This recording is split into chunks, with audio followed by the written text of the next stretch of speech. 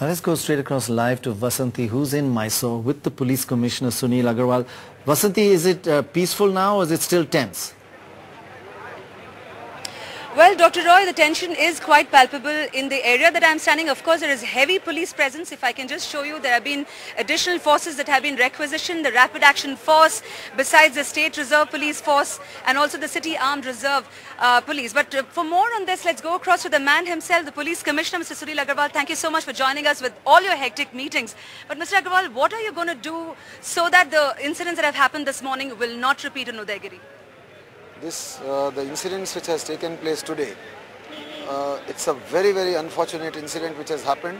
Mysore city uh, has been known uh, to be a very very peaceful place. It's it's uh, it's a city having global importance from the tourism point of view. Uh, action has been taken immediately.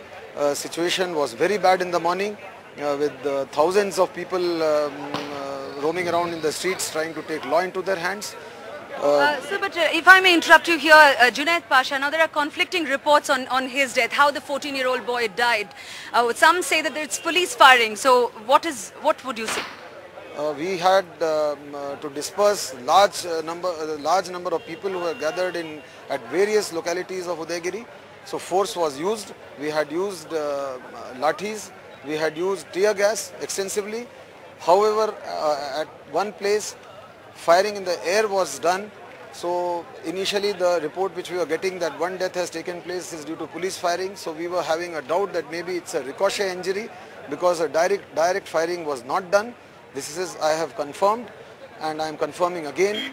However, uh, the post-mortem is being held uh, at the at the, uh, the bodies have been shifted to the mortuary and we have put a team of doctors. The committee is examining and the preliminary reports confirm that it is a stab injury and not a bullet injury. Well, this area, Udaigiri particularly, has a really long history uh, since 1992. So, I mean, right now, the latest steps uh, you think will ensure peace? Yes, we have we are taking both the communities uh, into confidence. Just now, about half an hour back, we had a right. peace committee meeting uh, at the corporation uh, council hall, along with the deputy commissioner, Mr. Manivannan.